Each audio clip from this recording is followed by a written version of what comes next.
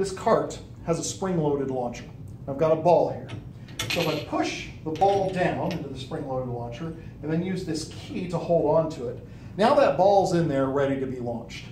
If I pull the key out, the ball gets launched. It doesn't go real high, but it does get launched. And it falls right back into where it was launched. But this time I'm just going to push the cart.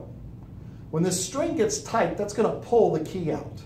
And so the ball will be launched while the cart's in motion.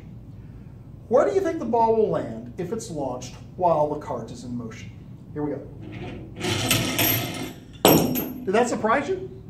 It landed right back where it was launched from, even though the entire cart was moving. That's because the individual dimensions behave independently of each other. The horizontal dimension and the vertical dimension behave completely independently of each other. So, as this cart was rolling, it had motion in the x dimension, and the ball had motion in the x dimension. When the ball was shot up, it had motion in the y dimension, but it still had that same motion it had in the x dimension. So it kept moving right with the cart. That way, when it was launched, it fell right back down to where it started.